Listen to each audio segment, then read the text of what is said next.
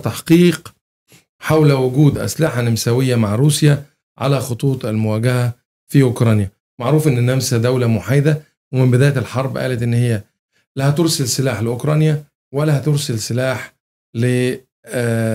لروسيا حاليا دلوقتي في آه، تحقيق بيقول إن في وجود أسلحة كتيرة جدا وخاصة المسدسات اللي هي بتنتج في النمسا من نعم. الشركتي أو مصنعي الأسلحة في النمسا وقالوا إن الحاجات دي موجودة وبتستخدم حاليا على الجبهه الروسية ضد أوكرانيا تعليق حضرتك إيه آه، موضوع الأسلحة أستاذ ممدوح طبعا آه، آه، النمسا النمسا يعني آه، هذا التحقيق اللي اللي The Insider الروسية. الروسي طبعا آه، نقلا عن ال ZIB طبعا ZIB 100 أو ZIB Zeit im Bild التلفزيون النمساوي الرئيس اللي عمل هذا التقرير. بيقول لك إنه آلاف من قطع الأسلحة التي ذهبت إلى الجانب الروسي ويقومون يعني بالتعامل بصراحة آه، آه، آه، مع هذه الأسلحة وكيف جاءت هذه الأسلحة من ضمنها قناصات من ضمنها آه، المسدس المساوي الشهير الجلوك. آه، المصنوع في كارنتن آه، طبعا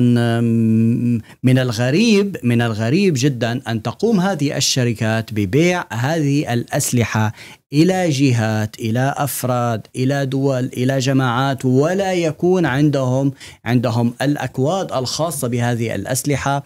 ال- ال- المعلومات على على على كل سلاح بيع بصراحة بس يوجد التصريحات فوضى بيقولوا إن دي كانت عن آه. طريق طرف دولة ثالث. ثالثة آه بالضبط. هذا الطرف الثالث. نعم. أنا هذا القصد الطرف الثالث. يعني ممكن تكون تركيا اللي يعني- اشترت وبعت مثلا بعتتها لروسيا. ممكن ممكن جدا تكون بس إيران ضمن, بس ضمن, ضمن العقوبات يعني. ضمن العقوبات المفروضة على روسيا. لا تستطيع تركيا ولا أي دولة في العالم أن تبيع أسلحة إلى إلى إلى الجانب لا الروسي. بشكل رسمي أكيد لا يعني.